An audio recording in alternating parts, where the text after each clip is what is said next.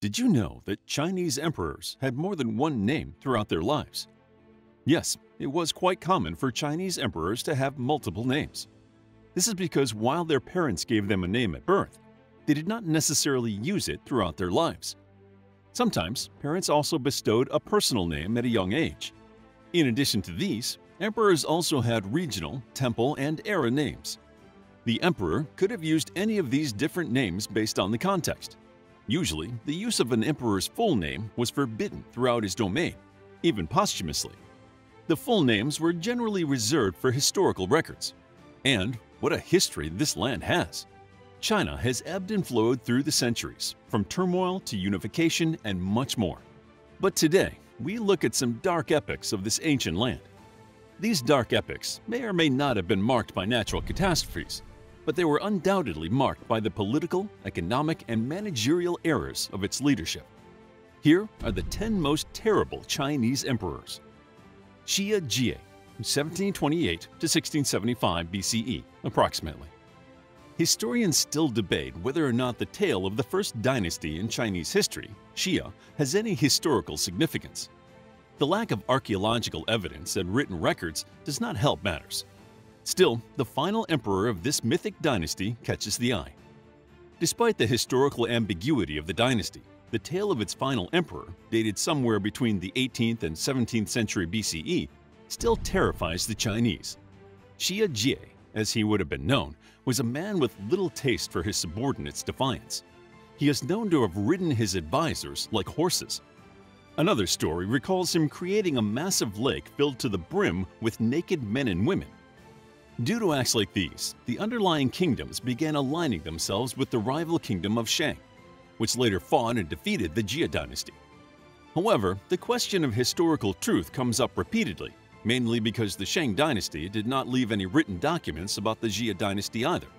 It is quite possible that the Zhou dynasty, whose records told the tale several centuries later, exaggerated the events to justify their political ambitions. Some motifs from the fable of Jia would also show up in the stories of Emperor Di Jin, who was another ruthless tyrant in the 11th century BCE. Qin Shi Huang, 259 to 210 BCE. Ying Zheng, the founder of the Qin dynasty, is remembered for uniting China for the first time.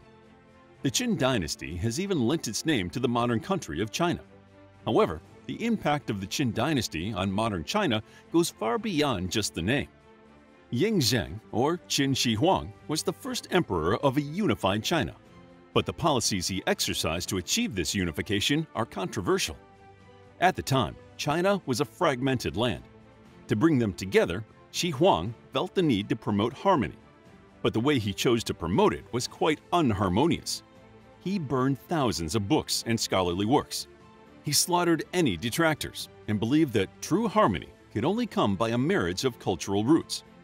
As long as factions held unique cultures and traditions different from their peers, the land could not be unified. To achieve this, he resorted to burning literature.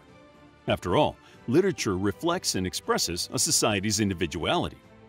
Even the Dutch historian E. M. Gombrich, whose A Little History of the World charts the history of Europe and the Middle East through the ages, could not ignore the book-burning practice of Shi Huangdi and had to dedicate a small chapter of his book to it.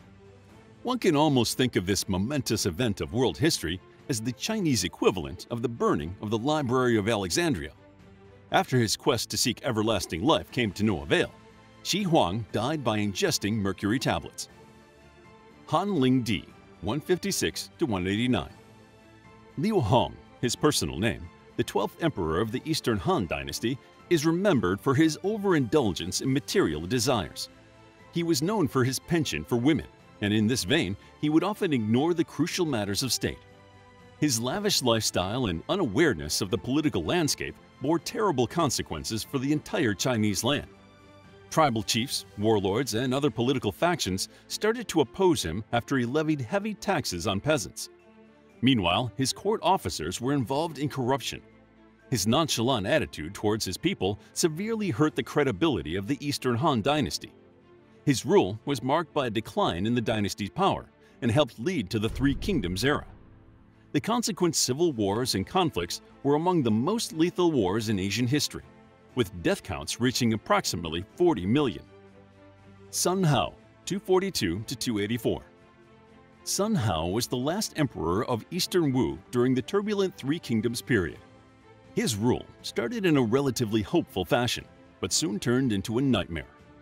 In the beginning, he reduced taxes, made some critical management decisions regarding the high-level officials, and let several concubines go. But like other Chinese rulers, he could not avoid falling into the trap of wine and women. Like the old proverb says, first the man takes the drink, then the drink takes the man. He became obsessed with women and kept a close eye on the beautiful girls in aristocratic families. He decreed that no daughter of a major official can be married without being presented to him first. Once offered, he would decide whether he wanted the woman as a concubine or not before allowing the marriage to go through. As his indulgence in these follies increased, he grew distrustful of the people around him, so he sent many faithful advisors to their deaths. This paranoia further exhibited itself in his attitude towards disagreements. He killed anyone who dared to disagree with him, and it was not a swift death. He tortured people by gouging their eyes and peeling their flesh. This spree of absurdity led to the fall of Eastern Wu. The Jin dynasty destroyed Eastern Wu in 280 to end the Three Kingdoms period. Liu Zi, 449 to 466. Liu Zi, the sixth emperor in the Liu Song dynasty, had a short but violent reign. His perverted sexual extravaganzas meant that he cared little for anything interfering with his lifestyle. Highly incompetent, the ruler is remembered for having many royal family members and high-ranking officials killed. He assumed control in 464 at the age of 15 and was assassinated a year later by his uncle. Liu Zi either murdered or imprisoned almost every member of his family. His Caligula-like sexual appetite meant that incest and other vices were not beyond him. These bouts of debauchery often put him at odds with other family members, whom he would end up eliminating. Emperor Wen of Northern Qi, 526 to 559.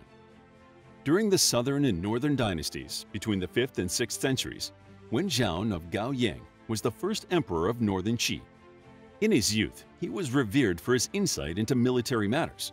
Not only that, he tried his best to curb corruption and strengthen the political and economic institutions. Nevertheless, this only lasted so long.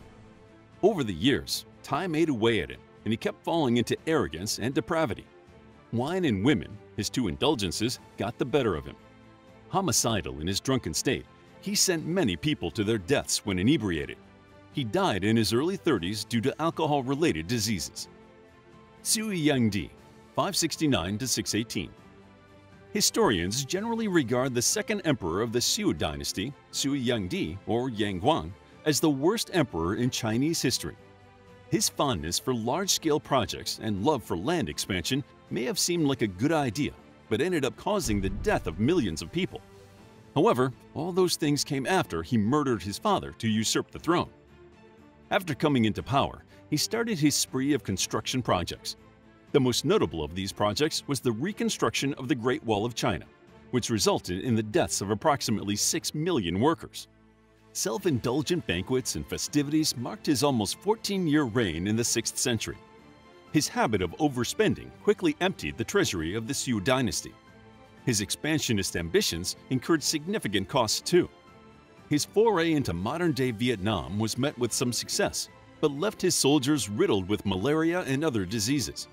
Similarly, his incursion into the Korean kingdom of Goguryeo was so poorly managed that around 700,000 people lost their lives to famine and war. Due to his ineptitude, resistance grew against him, and he was finally strangled to death by his general in a coup. With his death, the Sui dynasty was gone, and the Tang dynasty took over the reins. Wu Zetian, 624 to 705. The first female Chinese monarch, Wu Zetian, remains quite a controversial figure. She was an imperial concubine, but she was able to make her way to the top by wading her way through political intrigue. She had an affair with the emperor's son to ascend the ranks. Not only that, but she also framed the wife of the subsequent emperor for murder. Many believe that Wu Zetian committed filicide for the sake of power. After the emperor's death, her son took the throne, but things were just getting started for Wu. After deposing and exiling her son for disobedience, she laid the foundations for the Zhou dynasty. While in power, she had many members of the aristocratic families and scholars executed, assassinated, enslaved, or exiled. Although she wielded her power strictly within the upper echelon of society, the commoners cherished her as a monarch. The economy was stable, and people from the lower ranks started making their way to the top, an unprecedented notion. Song Huizong, 1082 to 1135. Zhao Ji, or Huizong of Song, was a connoisseur of great art and an aesthete. However, when it came to ruling the people, he was incredibly inept. The eighth emperor of the Song dynasty inherited his empire in the 12th century when northern Song was already frail. Historians lament his rule for its courtly decadence and his youthful hobbies. While he was a lover of music and the arts, the emperor was also very fond of courtesans who would often leave to visit them, ignoring the matters of the state. He entrusted stately affairs to six manipulating advisors who were guided by their interests and schemes.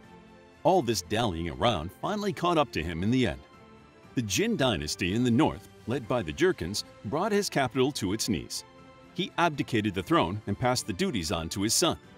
Both father and son were captured and placed under house arrest, and nine years of humiliating imprisonment followed. Broken in the face of torture, Huizong fell to his death. Zhu Youxiao, 1605 to 1627. The 16th emperor of the Ming dynasty, Zhu Youxiao, the Tianqi emperor, took over the throne at the age of 15. He faced acute learning disabilities and could not understand the workings of the court. Since he was not well versed in anything besides carpentering, he handed these affairs to a eunuch.